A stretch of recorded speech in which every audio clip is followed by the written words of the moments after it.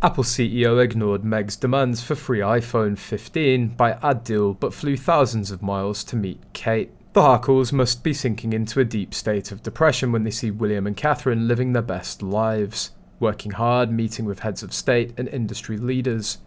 And what are the Harkles up to? Paying to have old photos shown of Meghan on the floor with her legs in the air on the set of Suits muscling their way into the Kevin Costner charity event and then Meghan's rejected from grabbing the microphone and giving an inspirational word salad speech. Oh dear. Meanwhile, William and Catherine met with Apple CEO Tim Cook at Windsor yesterday.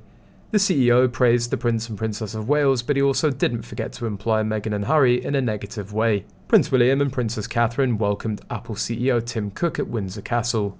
The Princess of Wales opted for a neutral autumn look by wearing a navy blue pinstripe blazer and matching trousers. Kate paired the smart cord with a beige toned turtleneck top and a swept back hairstyle.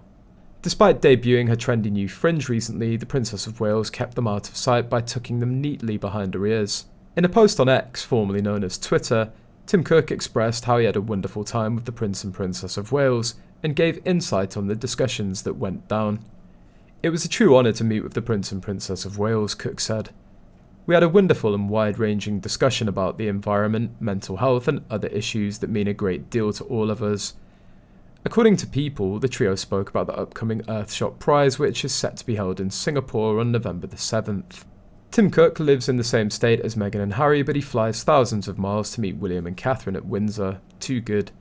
Earlier, an Apple spokesperson revealed on Twitter that a representative of a Duchess, implying Meghan, WME agency have asked Apple Inc. to give the Duchess of Sussex some tech upgrades. She hopes to receive an advertising contract for the iPhone 15, while her agency insists that she should receive a free iPhone. CEO Tim Cook opened the company's Fifth Avenue store Friday last week in New York to celebrate the official release of the iPhone 15 lineup, the Apple Watch Series 9, and the Apple Watch Ultra 2 he ignored WME agency's request. Now Harry and Meghan have got to be doubly pissed because this meeting with Tim Cook has happened a mere couple of weeks after William was lauded by Mike Bloomberg and shared the Earthshot conference with Bill Gates. Meghan could have met tycoons, worn tiaras, and been welcomed by adoring. Meghan could have met tycoons, worn tiaras, and been welcomed by adoring crowds like Kate. She could have had everything that Kate has the castles, the jewels, the gowns.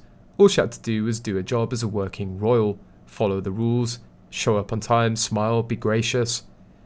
But she wouldn't have ever been ahead of Catherine, which was all that mattered, and what she could never get over.